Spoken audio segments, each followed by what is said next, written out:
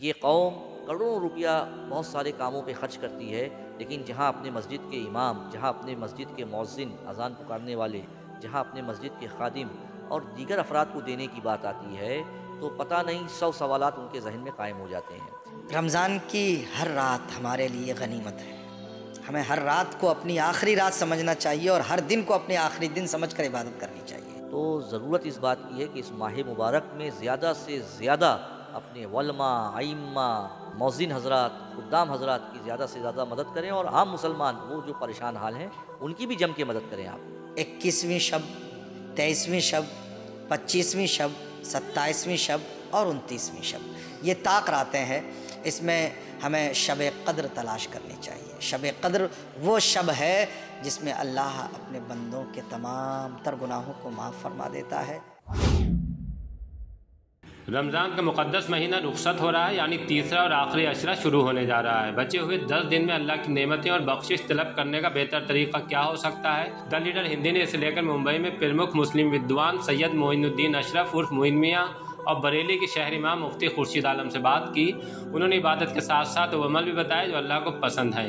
रसूल सल्लल्लाहु अलैहि वसल्लम की नसीहत पर अमल करने पर भी ज़ोर दिया। मोइन मियाँ ने मस्जिद का आइमा का ख्याल रखने और मुफ्ती खुर्शीद आलम ने हर रात को आखिरी रात मानकर इबादत करने की बात कही है। एक बार ज़रूर सुनिए। हमारे साथ हज़रत मोइन मियाँ जी मौजूद है। हज़रत, क्या पैगाम देना चाहेंगे आप लोगों को इस मुकदस महीने के अंदर? ये मुबारक महीना जो है ज़क़़त का भी है, फ़ितरा का भी है और लोगों से मतलब एक भाईचारा मिल मेल जोल का भी है तो इसके पर क्या पैगाम तो लोगों से ये अपील की जाती है, मुसलमानों से, कि वो अपनी मसाजिद के अइम्मा, जिनके पीछे वो नमाज़ पढ़ते हैं, वो लोग जो अज़ान पुकारते हैं, जिनको मौजिन कहा जाता है, मसाजिद के खादिम, मसाजिद के तहारत खानों को साफ़ करने वाले वो लोग, जो बेचारे ना जाने किन किन सऊबतों से दो चार किन किन परेशानियों से दो चार रहते हैं।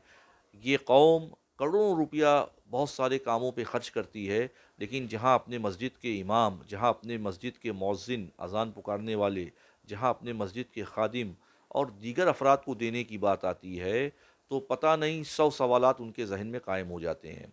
तो ज़रूरत इस बात की है कि ये कौम आपने कहा कि कोई पैगाम दीजिए तो इस आपके न्यूज़ चैनल के माध्यम से आम मुसलमानों से ये गुजारिश है कि वो अपने मसाजिद के अइम्मा मौज़िन खुदाम और नायब इमाम और वो लोग जो मसाजिद के तहारत खानों को साफ़ करते हैं, वज़ू खानों को साफ़ करते हैं, उनकी ज़्यादा से ज़्यादा आवाम खिदमत करे। सिर्फ़ मस्जिद के ट्रस्टी की ज़िम्मेदारी नहीं है कि वो अपनी मस्जिद के इमाम की खिदमत करे। आम मुसलमानों की भी ये ज़िम्मेदारी है कि वो अपनी मसाजिद के अइम्मा, वलमा, मदारिस मदारस दीनिया से जो लोग आते हैं, आज देखिए एक सोची समझी साजिश मदारस के ख़िलाफ़ जो है, वो फल रही है, फूल रही है कि मदारस को ख़त्म कर दिया जाए ताकि दीन ख़त्म हो जाए। तो मदारस से आए हुए जो सफ़ीर हजरात हैं, उनका ताउन आप करें, अपने मस्जिद के इमाम का ख्याल रखें, बांगी का ख्याल रखें, मौजिन जो अज़ान को पुकारता है, उसका ख्याल रखें ख़ुदाम का ख्याल रखें, मसाजिद के वज़ू खाने, तहारत खाने को जो लोग साफ़ करते हैं, उनका ख्याल रखें। आपने कहा मस्जिद के खादिम वगैरह। रमज़ान के अलावा भी हम देखते हैं कि ऐसे जो लोग हैं जो मुस्तक होते हैं उसको तो किस तरीके से उन लोगों की मदद चाहिए देखिए, हाल ये है कि शादी में डेकोरेशन के नाम पर लाखों रुपया, करोड़ों रुपया खर्च कर दिया जाता है। खाने पीने पर करोड़ों रुपया खर्च कर दिया जाता है। ये बहुत अफसोस के साथ कहना पड़ता है, लेकिन वो मस्जिद का इमाम जो निकाह पढ़ाता है, उस रिश्ते को जो अमली तौर पर मज़बूत बनाता है, उस शख्स को देने के लिए आपके पास कुछ नहीं है। उसको देने के लिए सौ बातें हैं आपके पास। तो ज़रूरत इस बात की है कि आइम्मा और वलमा का ख्याल करें। ये आपके सर का ताज हैं, इस कौम के सर का ताज हैं। आज ये बहुत बेहाली से दो चार हैं। तो ज़रूरत इस बात की है कि इस माह मुबारक में ज़्यादा से ज़्यादा अपने वलमा आइम्मा, मौजिन हजरात खुदाम हजरात की ज़्यादा से ज़्यादा मदद करें और आम मुसलमान, वो जो परेशान हाल हैं, उनकी भी जम के मदद करें आप। इसमें हमें रो रो कर गिर गिरा कर, अपने गुनाहों को याद करके अल्लाह से माफ़ी मांगनी चाहिए। अल्लाह करीम है, रहीम है, सत्तार है गफ़ार है, वो माफ़ फरमाने वाला है। बंदा जब अपने आँखों से आँसू निकालता है तो वह आँसू के कतरे ज़मीन पर भी नहीं आ पाते कि अल्लाह अपने बंदे के गुनाह को माफ़ फरमा देता है। इतना रहीम है मेरा रब, इतना करीम है।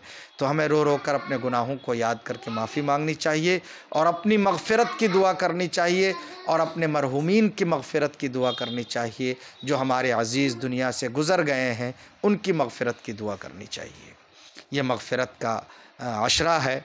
अल्लाह अपने फ़ज़ल से हमारी सबकी तमाम आमतुलमसलिमिन की मगफ़रत फरमाए। आखिरी अशरा है जिसमें ताख रातें भी हैं। ताख रातों में जो इबादत का तरीक़ा हमारा होना चाहिए। ज़्यादा सवाब हासिल करने के लिए हमें किस तरह का रवैया या किस तरह का अपना जो तरीक़ा है वो रखना चाहिए। रमज़ान की हर रात हमारे लिए गनीमत है। हमें हर रात को अपनी आखिरी रात समझना चाहिए और हर दिन को अपने आखिरी दिन समझकर इबादत करनी चाहिए। हमारे बुज़ुर्गों ने ये बताया है कि आने वाला दिन अपना आखिरी दिन समझो और जितना तुझसे हो सके इबादत कर लो। आने वाली रात, आखिरी रात समझ कर इबादत कर लो कि आज के बाद क्या मालूम हमें रात मिले या ना मिले। मगर रमज़ान मुबारक की ताक रातों की फजीलत अहादीस करीमा से साबित है।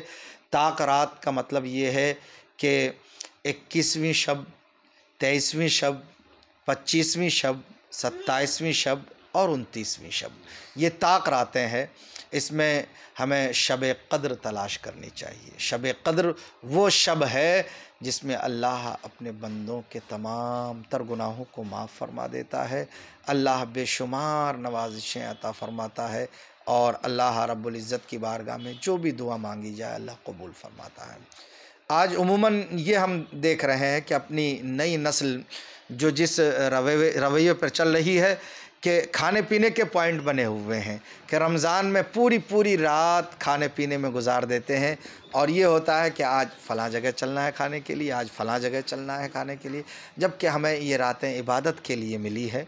हमें ज़्यादा से ज़्यादा तवज्जो अपनी इबादत पर देनी चाहिए और इबादत करके अल्लाह को राज़ी करना चाहिए, ना कि खाने पीने पर ज़्यादा तवज्जो। अल्लाह तो नमतें खिलाता है कुलु वशरबू मिर रिस्क़ल्ला अल्लाह फरमाता खाओ पियो अल्लाह के रिस्क से। जो रिस्क हमारी किस्मत में है वो हमें मिलना ही है।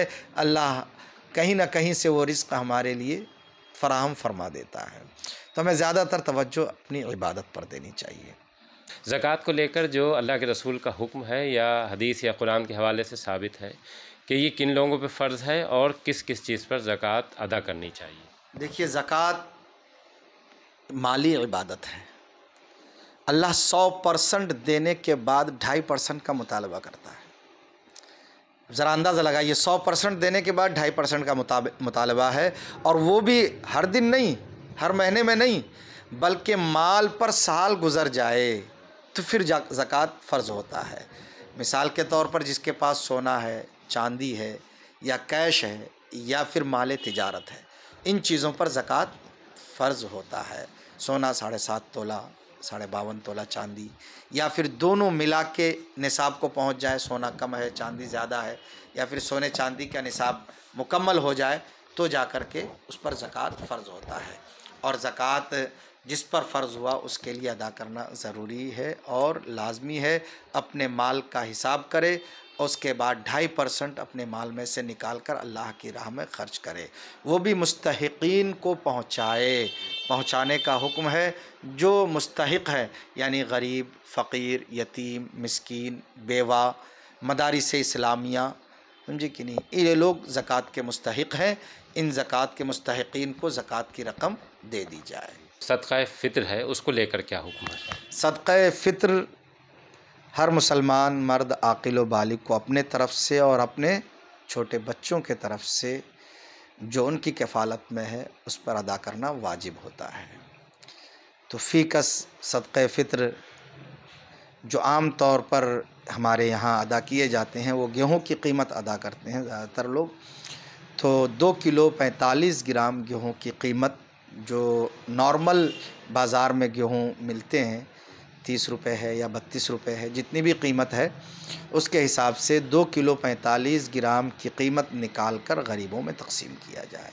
ये सदक़ फ़ितर है। तो ये ईद का चाँद नज़र आ जाए तो करें या रमज़ान में कभी भी कर सकते हाँ रमज़ान में कभी भी कर सकते हैं। ज़रूरतमंद को आप पहुँचाइए ताकि उसकी भी ईद आपके साथ हो। इस्लाम ने ये सारे निज़ाम इसलिए बनाए कि कोई गरीब गुर्बत में ना रह जाए, इस्लाम में ज़क़़त का हुक्म दिया ताकि कोई अगर मुस्तक है तो उस तक पहुँच जाए, जो आप खाएँ वो भी खाएँ। ये निज़ाम इस्लाम ने दिया है कि कोई ज़्यादा दौलतमंद है तो वो अपने दौलत को लेकर ऐश कर रहा है और कोई गरीब है तो वो बेचारा अपने गरीबी को रो रहा है। तो उस दौलतमंद पर इस्लाम ने लाजिम करार दिया कि अल्लाह ने तुझे दौलत दी है तो ढाई परसेंट निकाल के उस गरीब तक पहुँचाओ जो अपनी गरीबी की रोना रो रहा है। उसके यहाँ भी बच्चे हैं, जिस तरह तुम्हारे बच्चे नए कपड़े पहने, वो भी उनके बच्चे हैं, वो भी नए कपड़े पहने। तो ईद में खुशी में सबको शामिल करें।